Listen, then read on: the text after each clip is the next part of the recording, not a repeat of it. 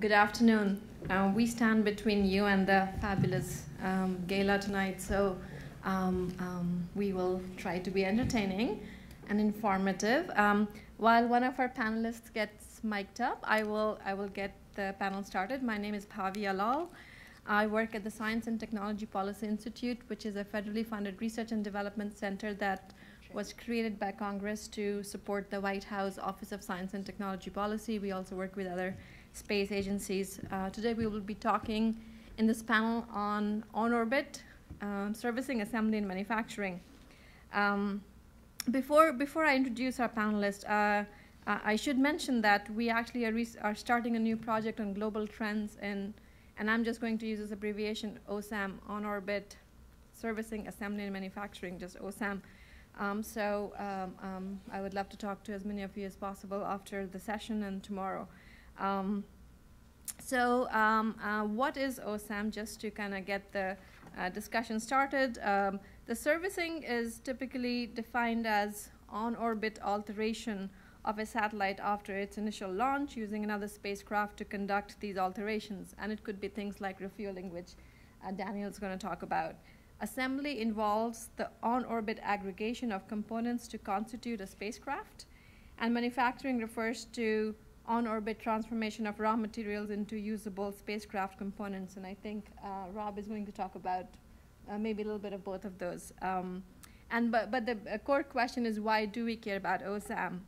And the reason for that is that when you launch a fully assembled spacecraft from Earth, there are some significant limitations on the size, volume, and design of the spacecraft. Three in particular uh, I would like to draw your attention to. The first one is that the spacecraft itself needs to be accommodated as a payload in the fairing of a single launch vehicle, and the volume of which may restrict the size and the number of instruments, for example, that could be included. The second one is components must be ruggedized to withstand the harsh launch environment, which imposes penalties in, with respect to mass and size, limiting payload capabilities and increasing complexity, test, test time, and cost. Uh, one example that um, a colleague of mine gave me is that you know a spacecraft's life is maybe you know in, in geo 15 more years, and most of the design of the spacecraft is for the first eight minutes of its life, which is launch, which kind of seems ridiculous, right? Uh, the third, uh, uh, last but not least, the, the backups and redundancies must be included in spacecraft because uh, there might be contingencies against uh, against which they, you know, these very expensive uh, spacecraft must be must be protected, and this could be damaged during launch or failure on orbit. Um, with that, I would like to introduce our a very exciting panel today. Um, and um, uh, let me quickly say a few words on each of them, and then I would like each of the panelists to maybe spend five minutes talking about what they believe you all need to know about OSAM, and then I have some questions prepared, and I'm hoping you all have, would have some questions as well. So I would like first Dan Faber, Dan or Daniel? Daniel. Daniel Faber uh, to go. He's a co-founder and CEO, CEO of Orbit Fab. And Daniel would paint a vision for us on what the space economy looks like with OSAM in any way that you wish to, to tell us. Uh, next, I would like Rob Hoyt to go. Uh, Rob is the CEO of uh, Tethers Unlimited, and Rob will focus on exciting technologies related to space-based manufacturing on the horizon, but, you know, your call. Uh, third, I would like Stephanie Roy, who is a partner at Perkins Coie, right? You Perkins told me how Coie, yeah. Per Perkins Coie. Um, Stephanie will bring us down on Earth and address key legal issues and regulatory challenges we need to overcome to promote OSAM.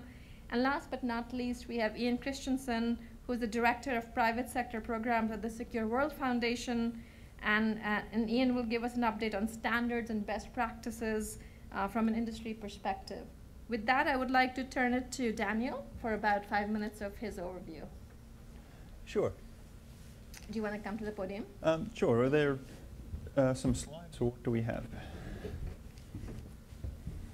I'll go through so, uh, yeah, OrbitFab is, is building gas stations in space. We, we see the, the problem on orbit that uh, all the satellites at the moment are not reusable. So, um, a bit of a uh, great, a bit of a uh, artistic impression of what a gas station might look like in space But this is what the future is that, that, we're all building. There's a lot of people investing in this. We heard from OneWeb, they're putting up a, a thousand odd satellites. There are other companies. You know, we've had 12,000 satellites authorized in the last year. I think the number might be up to 14,000 now. So space is about to become a bustling place. Um, we have rockets that are, are now reusable. And uh, however, this is what space is like right now. You don't touch the satellites. You, you launch them and you leave them there and you move them as little as possible and uh, once you have paid for that satellite and put it in orbit, it's, it's done. That's the maximum flexibility that you have. You've lost all flexibility over your business model. You just leave it there. And when you run out of fuel, you've got to get it out of orbit, or if it fails, it's, a, it's junk. When we look at other assets that have a similar lifetimes, we're refueling those quite often, we're reusing them quite often. Even rockets are getting reused. We live in a world now where, I guess SpaceX has done three. We like to see that number increase quite a lot. But satellites are still not reusable. They're disposable. They're, they're junk after they're done. That's all we can do. That's the world that we're trying to change. And there's, there's that pain created by, by having to rebuild your asset and pay for that. And um, I'll just try here. Um, so there's a lot of companies now building these satellite servicing vehicles. And, uh, and that's where you know, this on-orbit servicing, manufacturing, assembly starts to come in. How can we add flexibility to these business models? There's one thing that uh, OrbitFab came in and said, well, all of those are going to need fuel because even your tow trucks will run out of fuel. There's only so much you can carry. If you want to refuel the satellite, you have to then uh, take that, that fuel out of the, the servicing vehicle's uh, uh, tanks and you will, you will run out of fuel. So that's where we come in. We looked at this supply chain and said there's a problem with this. Uh, none of these parts here are designed to be refueled. The satellite is built uh, by, by satellite integrators. The operators get their spacecraft from the integrators and these spacecraft are designed to be um, very highly tuned. You have to make sure you make the most of the space you have in the launch vehicle. There's not a lot of space to put in extra systems to be uh, refueled, upgraded, and changed. And they're buying components from subsystem manufacturers who haven't designed these components to be upgraded, modified, changed, refueled. And on the propellant side, they're buying sub-subsystems, the fueling ports, again, have not been designed to be upgraded, manufactured, or changed. So how do we change this? How do we start small and work our way into making this future compatible? So at Orbit Fab, we said the biggest problem for refueling is that the fueling ports aren't made to be refueled in orbit. Let's do that. Let's build a fueling port and let's start to change this whole cycle. And that fueling port has to be the same size, the same mass, the same function, the same price as a fueling port, and that way you'll get it into the spacecraft and be able to change things. So that's the first thing we built. We did some tests on the International Space Station with various technologies. We then built our prototypes. We worked with uh, 20, 25 customers, you know, potential users of this, all the way through the, uh, the value chain and said, what do, we, what do we need to hit in terms of performance? And now we've produced a, uh, a product that's being shipped to customers. And that service valve that you see on the right there, that, that small piece, it is the same size, weight, cost as a, uh, a fill drain port that you put on a traditional satellite right now. So that's commercial product that's available. It's going through life testing right now. We expect to be flying that uh, in a few months. Other things that we've done, testing the pumps, the, the, the pumps, the plumbing, the valves, the feed systems uh, on board the International Space Station. So we've tested zero-G propellant transfer. This is nothing new, but what this is is a product. The smallest tanker there, the, the, the rigid tanker on the, uh, on, the, uh, on the right, that's a 16-unit CubeSat. That's the smallest that we could imagine that you would build a tanker. We put solar arrays and flight avionics on that, and that's our free-flying operational tanker. That should be flying next year. So this stuff is coming. We want to run by the end of next year a full fuel cell uh, trial, transferring propellant between a tanker and a customer. So I'm also going to use this as, uh, to make an announcement. OrbitFab today announcing we got into the TechStars program with Starburst. The companies listed at the bottom there are the, the supporting companies on that program. All of those companies chose OrbitFab and, and the other companies in the programs because they specifically wanted to do business with them, because they recognize that this is coming. So all the large companies are seeing it, the government agencies are seeing it, they're now starting to write this into their plans. So we're seeing a huge amount of change. And it's partly because you know, we've been able to do small innovative things, but it's mostly because there are now, we're tracking 25 companies, sorry, as of yesterday, 26 companies that are building the satellite servicing spacecraft. We build big tanks of gas.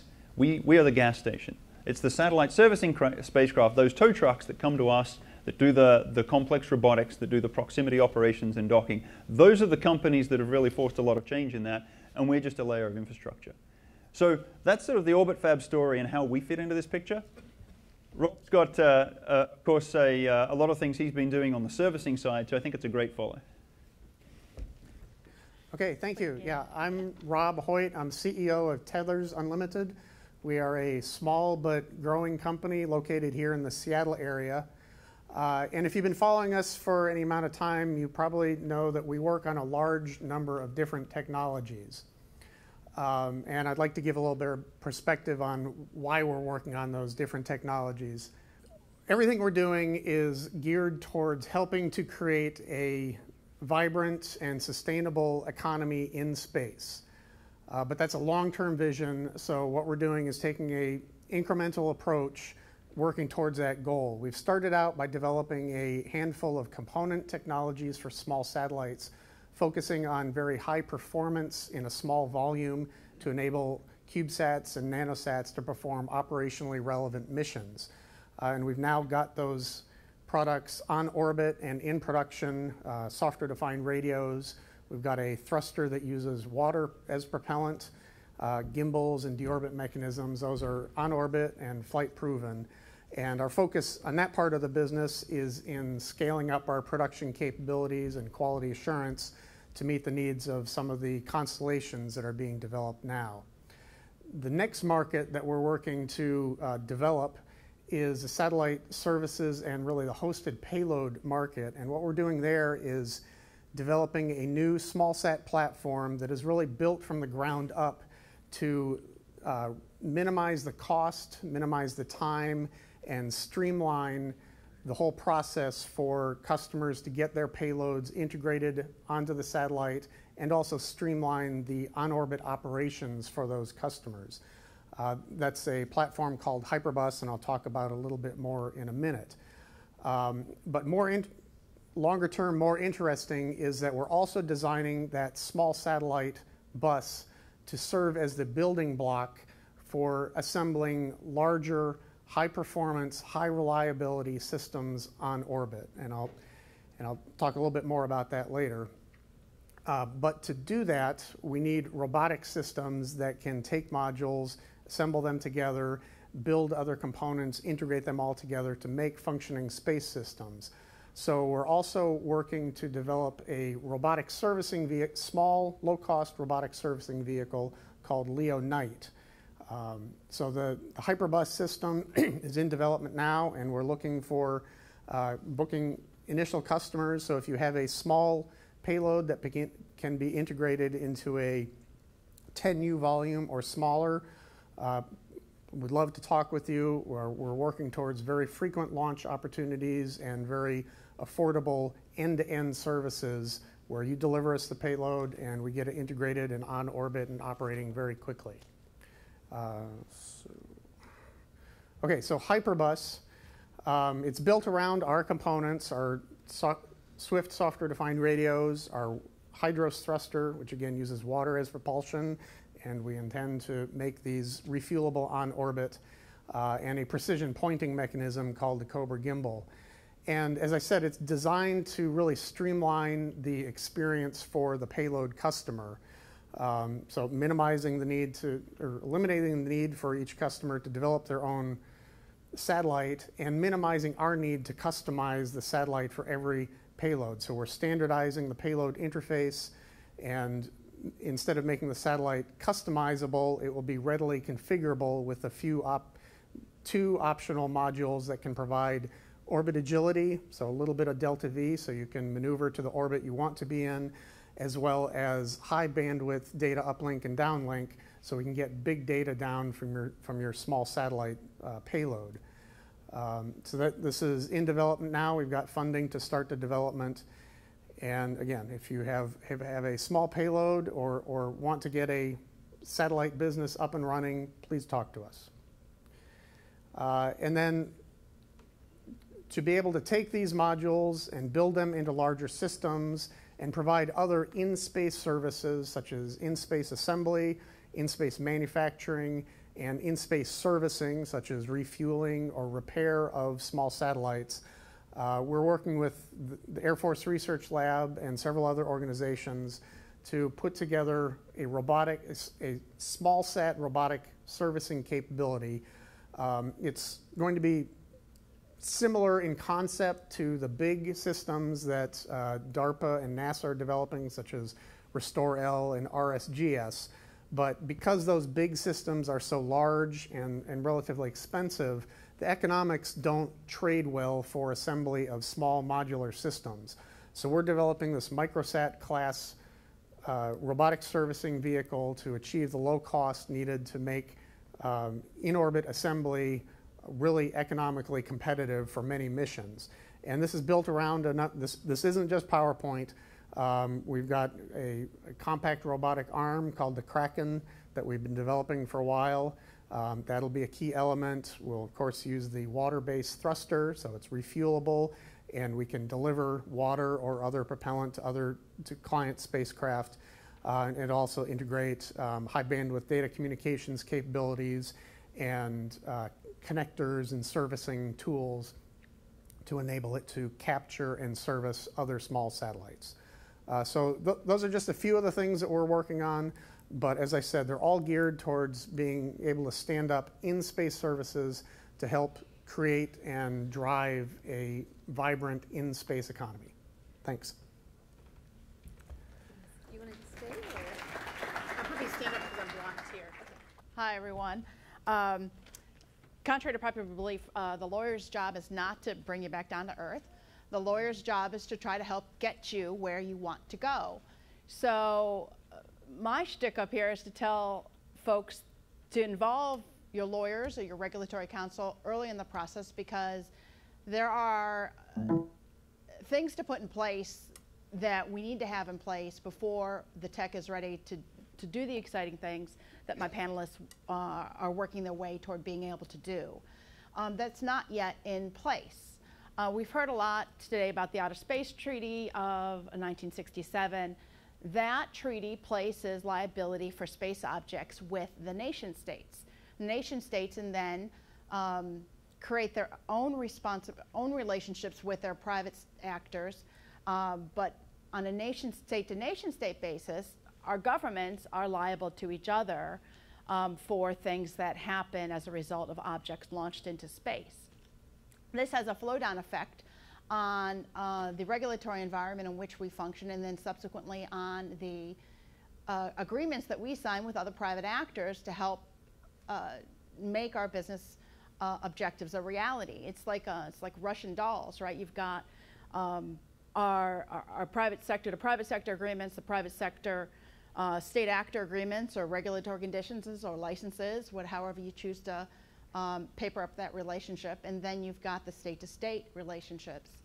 So right now, the only handshakes you've had between two different objects in space have belonged to the same government or two government actors working pursuant to a bilateral, multilateral agreement. Here we're talking with the exciting in-space propellant depots, on-orbit servicing, uh, one commercial actor touching another commercial actor's um, stuff up there in space. So the question is, you know, who, whose space object is that while those two vehicles are in connect, connected to each other? Whose fault is it if something happens during those operations, for example? I don't know if we have this answered yet. Uh, and the answer, the resolution, uh, can either be ad hoc, a bilateral exchange of letters between the launching state for one object with the launching state for the other object, the satellite and the satellite um, servicing uh, or de uh, propellant depot launching state. Or it could be uh, multilateral, maybe uh, the, the states that are currently active and launching objects into space actually kind of get together and come to a set of agreements and principles that they apply and then trickle down to their um, private actors. But this is something that needs to happen, and we'd like to see it happen sooner rather than later, or at least have the players uh, poised to um, put these agreements and understandings in place such that the private sector can get on with the business of operating uh, in space uh, in as innovative a way as, as they can and without having to wait once the tech is ready for the licensing process to, to run its course. And that's one of the biggest, I think, um, challenges that needs to be addressed in this space. But there are others as we look farther term, and I think you know in-orbit fueling and satellite servicing uh, are some of the near-term, um, nearer-term opportunities in this space. On-orbit manufacturing, there is another. There's the question of how are the intellectual property laws applied in space? If something is being additive manufactured in space, where is that invented? What's the place of invention? Is it the you know, there's, a, there's some precedent to look to uh, in the uh, uh, Outer Space Treaty, but it's not definitive. And I, I think um, for people doing exciting things and valuable things in space, they want a little bit more certainty. Um, and all of that kind of trickles down from your licensing to then your private agreements, right? You're, when you're launching things into space, you typically need to get insurance. Your insurance, you know, your agreements with your insurance and companies are going to depend upon what your licensing requirements are and what your liability exposure is on how much perhaps the government's covered for you, like the um, government covers under the Commercial Space Launch Act. So, so that's really all I wanted to say. Is just it's an exciting um, area. Uh, the lawyer is your friend, um, uh, not somebody that just sits there and tells you you can't do something. They're there to tell you uh, and to, to how to how you can best do it um, within the constraints and within the avenues of advocacy that we have available to us. Um, so go forth and innovate. Thanks, Stephanie.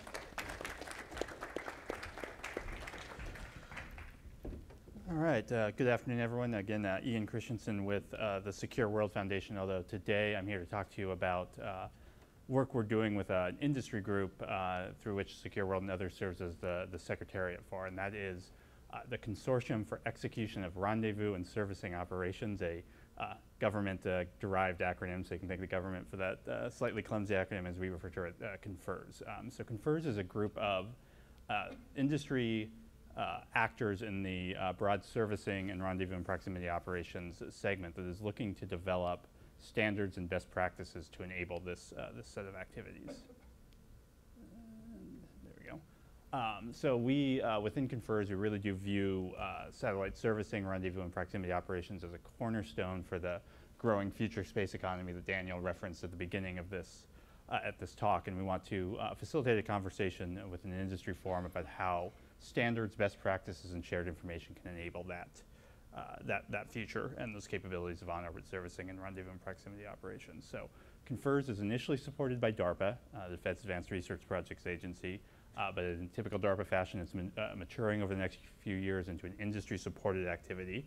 We are an indus independent industry forum to advocate, promote, uh, advocate and promote on-orbit satellite servicing and rendezvous and proximity operations, collaborate to develop, to develop and publish voluntary consensus best practices and standards for OOS and RPO, and uh, to engage with governments uh, on the policy and regulatory aspects of satellite servicing.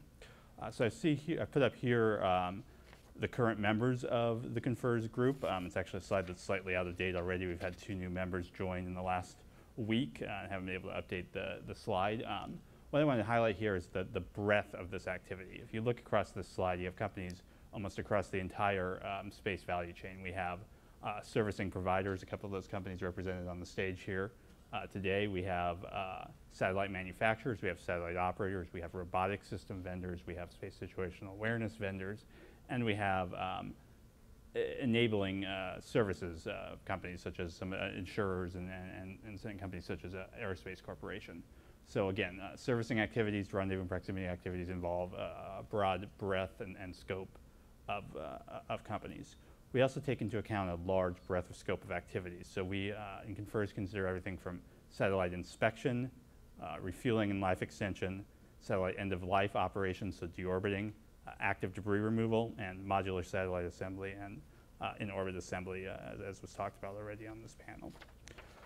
Uh, Confers is considering uh, standards and best practices, really focusing in our first phase on risk management and safety of flight and mission assurance, looking at things such as interfaces, operational practices, data exchange and sharing, and transparency public information sharing around on-orbit servicing and RPO operations. Uh, We've published uh, thus far two documents. Uh, our what we call our guiding principles for RPO and on-orbit servicing. Again, these are industry consensus uh, documents to cover things such as consensual operations, compliance with relevant laws, responsible and transparent operations. We've also published a more detailed document, our design and operating principles, focusing highly on mission, uh, mission assurance. They include design principles, they include operations to avoid uh, mishaps principles, they talk about avoiding interference, uh, and they talk about uh, promoting sustainability of, of operations. So, so, those documents are available on the, uh, the consortium website. Uh, the group is continuing to work and, and deepen those over the next several months and, and ongoing. Uh, both of those documents have been referred to the International Standards Organization, uh, which is an international body that develops consensus standards. that referral is to start an international conversation around standards and best practices for on-orbit servicing and rendezvous and proximity operations. Uh, and with that, I think I'll wrap up. Again, we're open to membership from uh, anyone in the non-governmental on-orbit servicing and RPO uh, interest area. So thank you.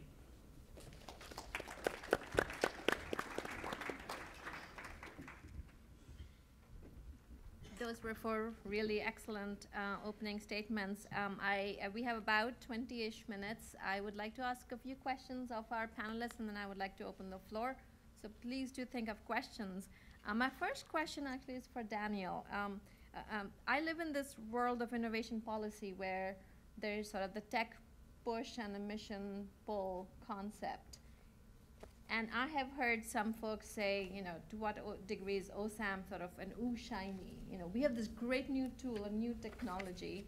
Let's try to find a way to integrate it, sort of the, the tech push approach but you know, thinking from the mission pull approach, I mean, in the if you if you look out ten years, what are the sorts of scenarios do you see? How does how do architectures change because we have this amazing capability to refuel spacecraft or assemble in space or, or manufacture in space? What, what, what are the scenarios you see in the next 10 years? Yeah, the great thing about technology change is uh, in 10 years, there'll be things that we don't expect.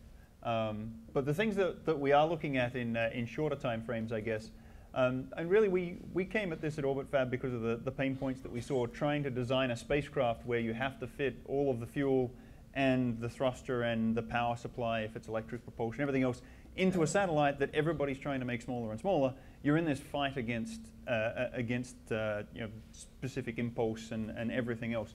Uh, and it's always a challenge, trying to fit more into, into what you can put on a rocket. The reason, of course, is rockets are not cheap and they're not going to get cheap. They're not going to get very cheap very quickly. There's a, there's a nice progression.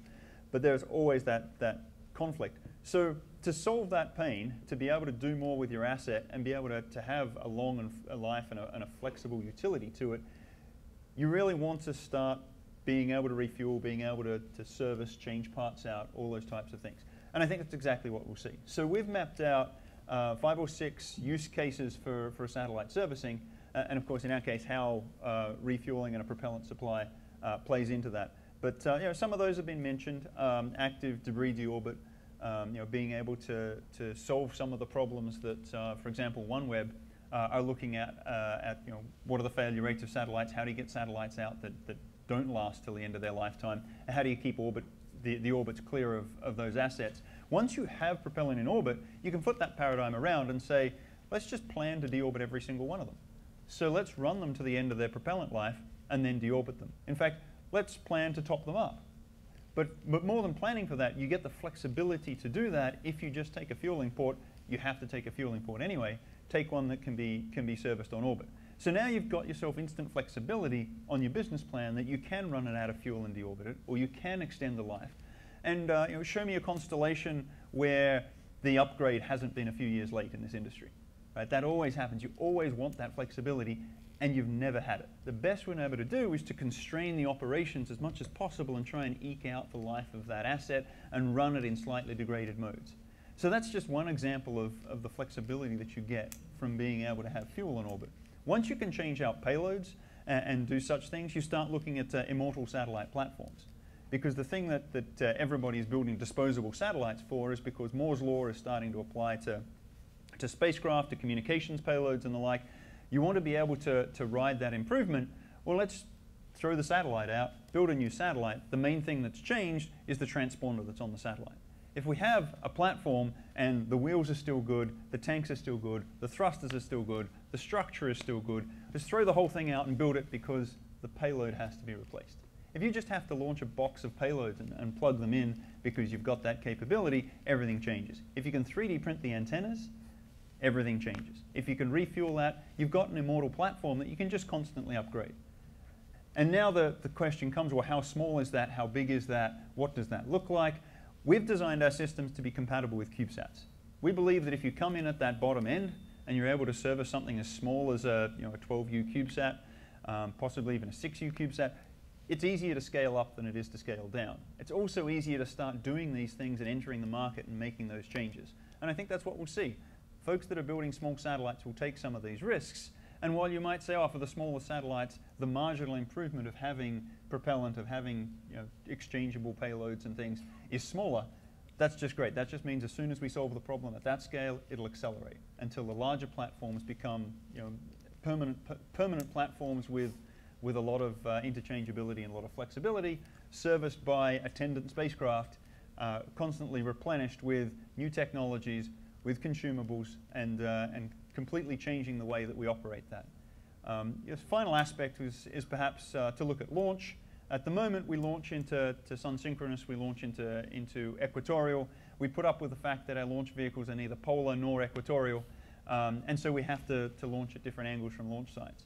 If you have a large amount of propellant on orbit, you launch the maximum mass that you can on a rocket, and you meet it up with a, a uh, propellant store in orbit, and now you can, uh, can loft, more mass in a world where propellant is not your driving factor, where you've got to supply a propellant, you can do inclination changes, you can do things that previously everyone's been terrified of doing. And so long term, I expect that um, you know, the launch sites in, in Florida are just going to drive everybody to launch to exactly 20, 28 and a half degrees. There'll be a very large supply of propellant there that you simply meet up with, and you go everywhere in the universe that you want from right over the launch site. That's, uh, that's a, a change in how we're going to operate. Certainly a great vision. Rob, do you have anything to add to that? Any, any aspects that Daniel may have missed? I think he hit a lot of what I would say. I, I think that, you know, I, I agree with you that Right now, there's the risk for in-space manufacturing and servicing to be kind of the shiny object that we and a bunch of other folks are interested in. Um, and for it to really become adopted, there needs to be a compelling mission need for it. Um, but I think that there are some compelling problems in the industry that this new approach can solve. For example, right now, the, the GEO-SATCOM market is in crisis because you know, they put up their satellites and they need to operate them for 15 years to make the money back. Um, meanwhile, the terrestrial data services are evolving super rapidly and running ahead of them. Uh, but if those geo satellites can be architected so that they could affordably replace the payloads, upgrade the payloads every five years or so, um, and they could, say, 3D print antennas on orbit or do other things to be able to improve the, uh, the dollars per bit performance of those platforms, then I think that those, those geo operators can stay competitive with the other data service alternatives. Um, so, you know, I think we, we in this industry trying to create these in-space services need to look for those key problems in the industry and figure out ways to apply the, the shiny toys that we're working on to, to solving those real problems. Thanks. Sorry, I didn't mean to say shiny to toys aren't cool. I'm all about shiny well, I, toys. I love shiny toys. I bought and built the, the the Lego the kits, the Saturn V and the uh, LEM. So, all about toys. Um, Stephanie, moving on to you. Um, you mentioned a whole a bunch of areas where government needs to do some things. You know, there's liability issues, alignment with the outer space treaty what are the two or three things that the government needs to do in the near term to start to make some of these visions that we just heard about come to fruition? I, I think the key one is, uh, in, in, in, you know, I think they've already started along this path of thinking about it um, and discussing it, uh, perhaps informally, with their counterparts internationally. Uh, is how do you handle the um, meeting up of two different space objects from two different launching administrations. And um, I, I, think the first ones will probably be a letter agreement between the two administrations. Uh, but uh, I, I think they, um, industry needs to make sure that they're engaged um, with, with the folks uh, in, in the government to make sure that the conversation is taking place in, you know, in the context that they need it to take place and with the realities of what the technical realities are, how, you know, what the risk profiles are of the approach and um, the intercept and uh, how long they're going to be uh, one object as opposed to two objects. And in, and in order not to stand in these guys' way, um, that conversation needs to be going now and be in a place to, to put in an agreement, at least for the first mission or two within the next couple of years, I'd say. Uh, but it will be, those first agreements will be driven by an individual requirement. Like, uh, these, one of these guys, you know, in orbit unit is going to be exploring a contract to actually perform a service and, and meet up with another craft in orbit, and they're going to go uh, to um, the government reps and say, how do we do this? How do we make sure that this has happened? It's not just an agreement between the two commercial operators, because as soon as uh, one of us comes and says, you know, I'm going to hook up with, uh, you know, an Indian, you know, an Indian satellite to refuel it or something, India's going to go, whoa, whoa, whoa, you're going to touch my stuff? You know, I don't think so, unless the government stakeholders are involved in understanding the parameters uh, around that interaction. Thank you. Um, Ian, uh, you spend a lot of time with companies both in the United States and, and around the world. What do you hear, or what is in your view, what are some of the things that can either derail the vision that we just heard about or accelerate it? Like, what are, what are your, what are some of the streams of thinking you, you hear? So first I have to put a plug in for Confers. We're doing uh, just what you were talking about, Excellent. Stephanie. So in most of our workshops, we've had U.S. regulators, European regulators, Japanese regulators. Not got to India quite yet, but uh, maybe put that put that to the list. So you, you're exactly right. Those kind of conversations do need to happen. The regulators need to be aware of what plans industry have and be able to think about those moving into into the, the licensing Yeah, government to government and, and ready to ready to come act, to an right, agreement. Right, Um, right. yeah. So, so that's, that's just to kind of echo that point. Um, one of the biggest issues on the policy side that we've seen come up um, has been a licensing function called non-Earth imaging. Um, so uh, Diane Howard mentioned the, the commerce efforts to reform the remote sensing regulations right now that are, that are going on. Um, and that's great. It's they're trying to increase the speed of the licensing process. They're trying to institute a presumed approval process instead of a more um, prove yourself based process. Um, but the, the US regs have something called uh, non-Earth imaging. So if you're, you're capable of conducting remote sensing of a object in space from another space object, you have to get a Department of Commerce license to do that, right? Um, that licensing process right now has a number of restrictions in it that are seen to be fairly restrictive to on-orbit servicing capabilities. Uh, there's a 30-day notice period that you have to uh, get approval from the Secretary of Commerce for. So if you're going to do an anomaly inspection that's sort of an on-demand need, that's a problem. Um, there are uh, bands that they're considering on certain wavelengths that would uh, limit the uh, infrared sensors and, and radar sensors from being used um, in certain contexts. Uh, that limits both certain CONOPS and certain safety measures. Um, and there's also uh, some restrictions that relate to space-based SSA capabilities that we were concerned about. So that sort of conversation is something that we hear from our members. We've put out a, a response to the Commerce NPRM and are engaging with the government on that. So that's one area where we see um, some need for further work in, in the licensing regime. Um, on the opportunity side of the question, um, technical support from the from the government agencies. So um, a lot of our companies have initial agreements with either NASA or with their um, corresponding space agency in their home nation to help do some early tech development and early uh, on-orbit demonstration type missions, and that's a very useful function. We'd like to see that that continue as well. Actually, just to pull on that thread a bit, um, so uh, we've done two studies on on-orbit servicing, assembly, and manufacturing, and, and we try to do an inventory of you know how much government support is going into OSAM. And I don't remember. Uh, I think off the top of my head about you know across DARPA, NASA, and other places, unclassified, it's about fifty million dollars a year that the U.S. government spends on this really important area if you had a magic wand, and this is a question for anybody, you know, about how much do you think we need to be investing and how much should come from the government versus from the private sector? And again, you know, Oh, a specific number, that's. well, you know, I mean, is it like, are we, I mean, we're, we're in the tens of millions from the government, and I don't know how much of, you know, there's really not that great account from the VC world. Are we, should we be, I mean, are, in order for us to meet this vision, are we looking at hundreds of millions, billions of dollars? Like, what is the, you know, there's NASA in the Uh, room, def- there's probably others in the room. Define support, though. I Yeah. mean, there's research money going toward it, or, you know, money put toward the regulatory issues. There also could be acting as a customer for the services. That's another way of support, using anchor tenancy con- concepts. Um, it, it's, I don't know if I could put a mm-hmm. number, you know, I think we'd like an order of magnitude more, but I, I don't know how your original numbers are. confer- Right, so actually, so I do mean sort of upfront tech development, the sorts of things Ian was talking about, but also customer base, but maybe not regulations, because that's hard to put a number on.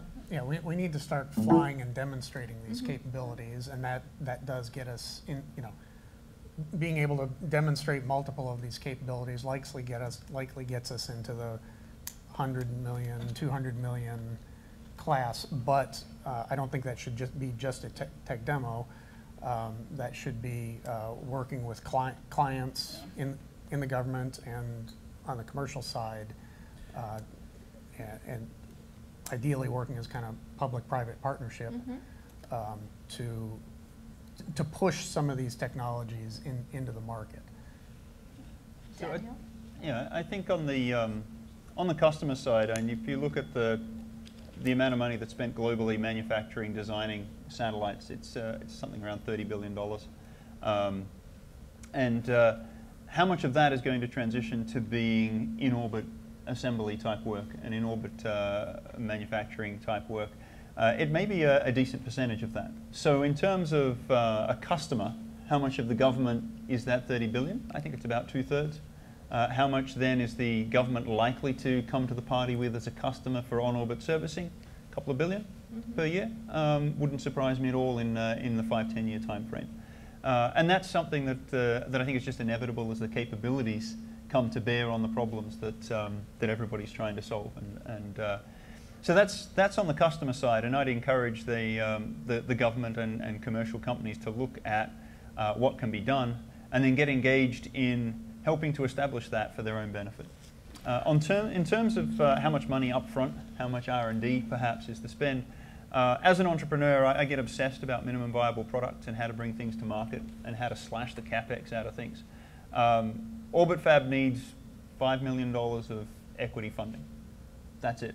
Um, whereas all the, all the things that I'd seen before about on-orbit propellant depots called for hundreds of 1000000s So what we've been able to do is, is really figure out how we can get to this market without needing a lot of capital. Now, where's that capital come from? Um, yeah, it could be equity. Um, it could be debt if we had contracts. Uh, it could be government funding. Love non-dilutive funding. That's great. Um, but it's a, you know, in the scheme of things, it's an incredibly modest amount of funding. And that's because of how we've designed the business. And you know, I'm, I'm sure Rob has, has his way of funding what he's doing. The other, the other 25 satellite servicing companies that we're talking with have their own way of, uh, of achieving that uh, and getting through those funding milestones. So what can the, can the government do? Well, the government likes to spend bigger dollars on, on bigger things. Uh, there's, there's money going into cryogenics. We're avoiding cryogenics, for example. Um, so there's, there's a lot of different things that, that will play into how this evolves. Uh, as you put money into different capabilities, there are different quantities of, of money that uh, are required and different capabilities that, that that creates. So every entrepreneur is going to choose their own path, and, uh, and so you can't put a specific number on it. But yeah, for, for Orbit Fab, it's single digit millions, and uh, we're looking at all avenues to bring in that capital. Sounds great. Well, with that, I would like to open up the floor for questions. Um,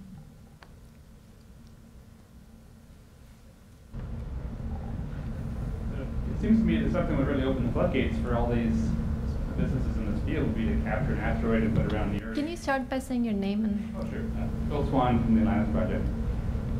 So yeah, so this idea of capturing an asteroid or bringing some kind of large resource close to Earth so you guys can all take advantage of it to do the kinds of businesses you want to do would be huge, I assume. Um, none of you are going to be able to do it on your own.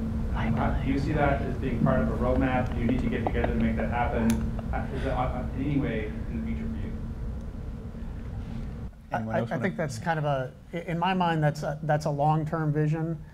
Um, You know, be- because go, going and getting an asteroid and bringing it back, that is a multi, likely a multi-billion dollar endeavor.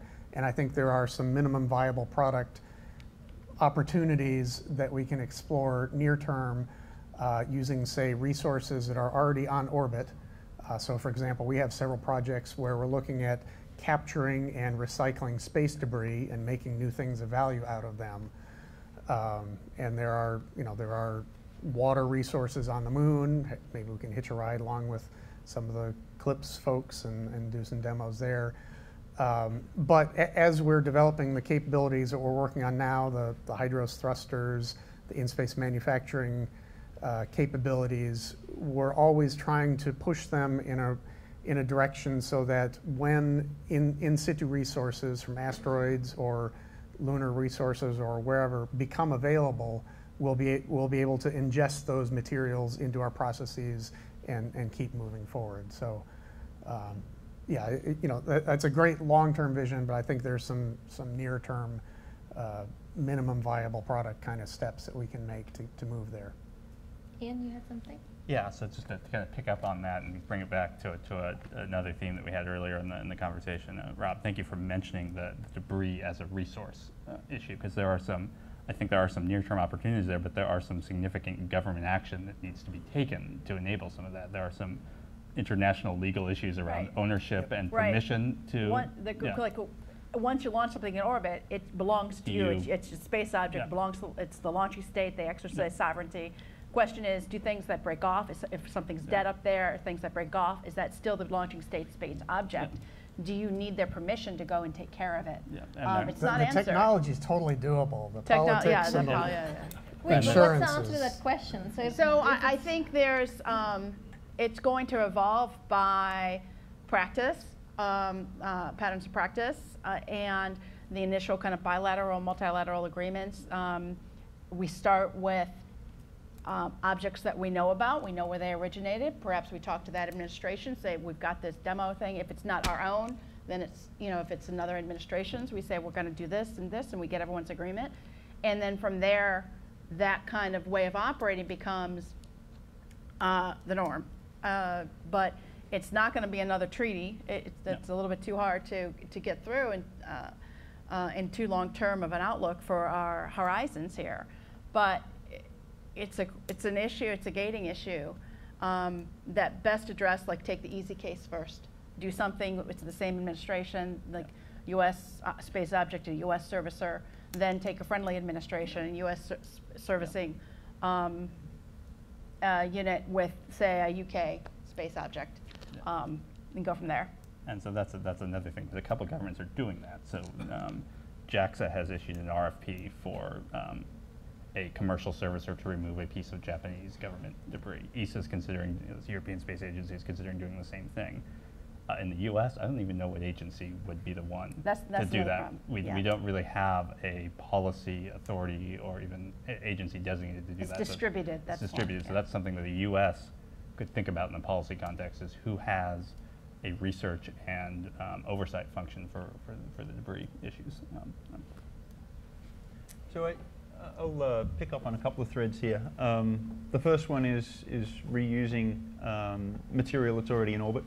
Uh, in our economic models of, of supplying spacecraft with propellant, uh, we include the idea of sucking the propellant out of the tanks of a spacecraft that is no longer able to use its own thruster. Uh, and that can dramatically improve the economics of deorbiting spacecraft that have, have uh, lost that functionality. Um, so yeah, that's, that's I think the first resource that is in satellites uh, and in the space junk that can be reused is the propellant that's inside their tank. Um, to, uh, to then pick a second thread, go to, directly to the asteroid uh, type work, and having uh, run Deep Space Industries, an asteroid mining company, uh, for a few years we recognized the first material that is going to be useful off the asteroid is propellant. Um, I make no, um, you know, I don't try and hide the fact that, that Orbit Fab is building gas stations in space to create a market for that propellant. For me, this is step two on a, on a long path to asteroid mining. Um, this step, like the last one, is intended to be uh, quite profitable. And uh, we see the asteroid mining as being a fair way off still. There's about six more steps in between Orbit Fab and asteroid mining. Uh, come and chat to me if you want to know uh, what those other steps are. But um, even if we had an asteroid in Earth orbit in a nicely accessible place, we don't know how to get the material out of it. We don't know how to process it. We can't use that. It might spark some great research, but it's going to be a while until that material becomes commercially available and, uh, and even companies like Orbit Fab are able to use it for, uh, for the propellant supply out of it. Um, so yeah, that's not something that's immediately useful, but would be great to be doing science. Thanks, everyone. Uh, other questions?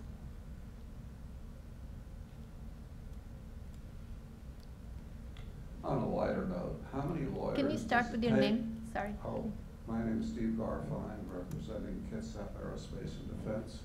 How many lawyers does it take to bring an asteroid into low Earth orbit?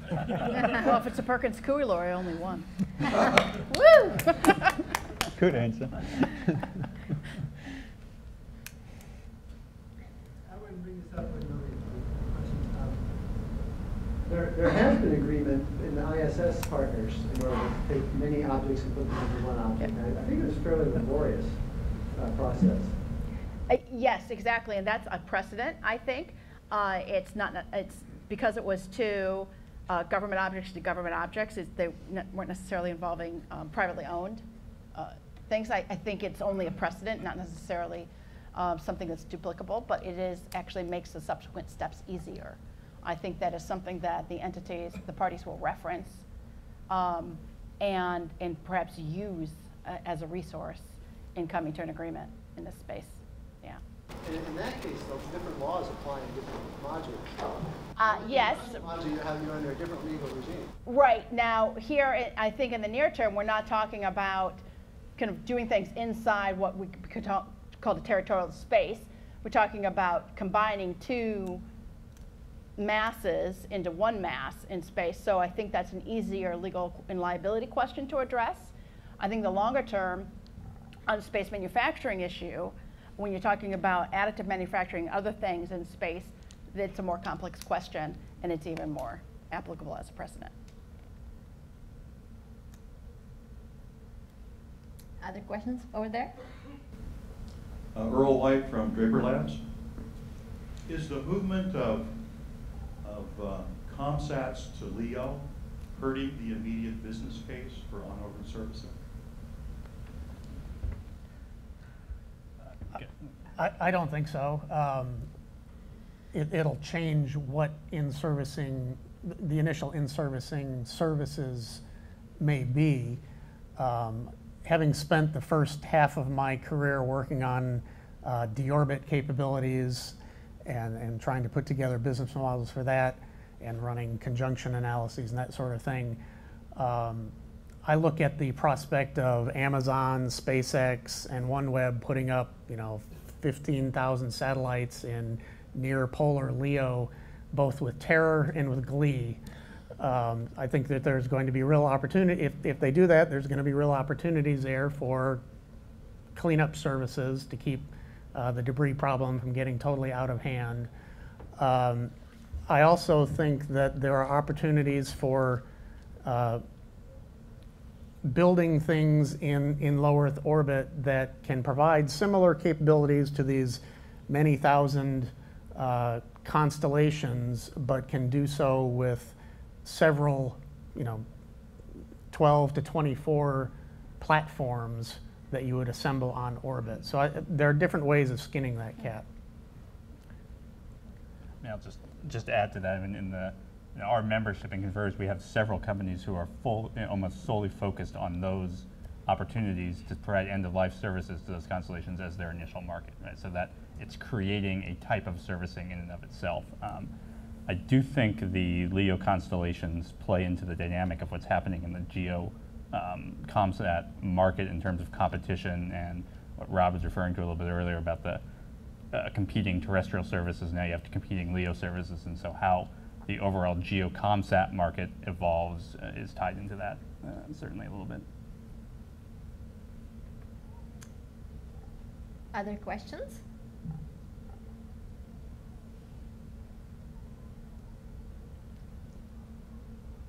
I'd, li- I'd like to kind of go back to the, the asteroid question.